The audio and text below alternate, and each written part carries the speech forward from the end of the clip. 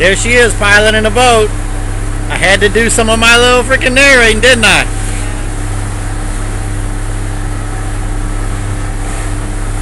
Use Craft Sea Runner. It's a Puget Sound.